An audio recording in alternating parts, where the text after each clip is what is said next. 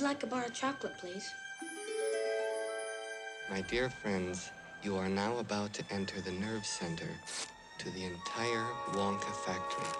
Inside this room, all of my dreams become realities, and some of my realities become dreams.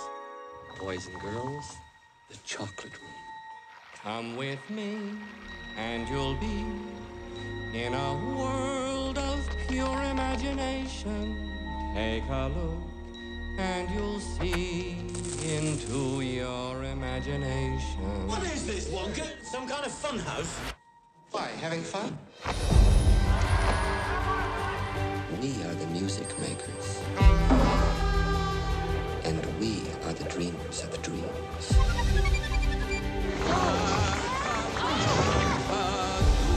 How did you like the chocolate factory, Charlie? I think it's the most wonderful place in the whole world.